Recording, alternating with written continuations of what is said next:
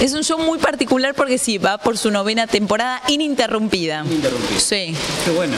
sí. ¿Cómo es estar nueve años consecutivos? A ver, es una obra que me imagino irás trabajando sobre ella, la irás renovando. ¿Cómo- contame cómo se trabaja.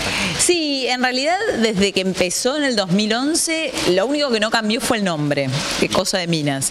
Pero sí, todo el tiempo se va renovando. Generalmente, al ser unipersonal, tengo esta licencia de, de poder ir renovándolo eh, a piacere un poco. Eh, pero generalmente siempre todas las funciones, por lo menos, no sé, dos, tres minutitos nuevos trato de, de meter y saco, porque también me parece importante para los tiempos que corren que no dure más de una hora y veinte, una hora y cuarto, ponele. ¿Y cómo es ese debate con vos misma para decidir eh, qué incluir en el, en el show? Porque tratándose de cotidianeidad, de cosas que le pasan a mucha gente, bueno, a, a las mujeres, eh, ¿en qué te basás para saber qué incluir en el show?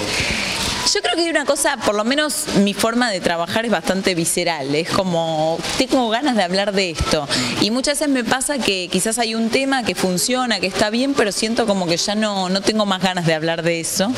Eh, pero es bastante intuitivo eso. En Mar del Plata una, una chica me dijo algo que me hizo como un clic en la cabeza, que, que me acomodó algunas piezas, que me dijo, me, encan- eh, me encantó venir porque me ayudaste a que me quiera más. Me dice como venirte, a- como que me amigó conmigo, una cosa así. Y, y yo creo que, que es un- si hay como un objetivo de este show, tiene un poco que ver con eso de, de sentirnos como, de aceptarnos más, de aceptar esas partes de uno que no le gustan, de físicas o de personalidad, pero que te cuesta cambiarlas y como poder, no sé, pasarla mejor con eso.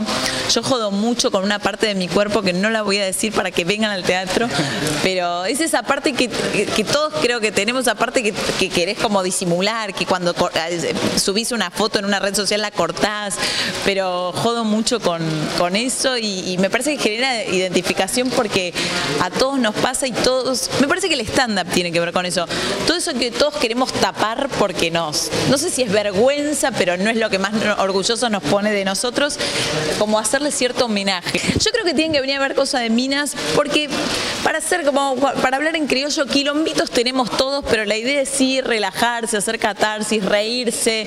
Si te vas con dolor de panza, mucho mejor, trabajar los abdominales y la pasas bien. Y te sentís como, te vas con más ganas de vivir. Ah.